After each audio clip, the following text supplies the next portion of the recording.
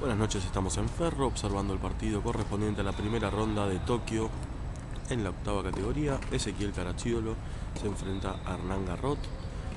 5-2 es el resultado del partido hasta el momento. Vemos el desenlace del primer set.